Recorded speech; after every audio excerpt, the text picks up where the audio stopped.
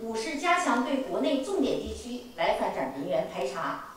截至五月十五日十八时，累计排查到重点地区来返省人员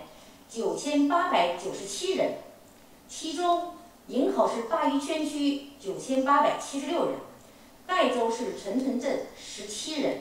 安徽省合肥市肥西县三人，六安市金安区一人。已实施集中隔离四百二十三人，居家隔离九千四百七十四人，除一千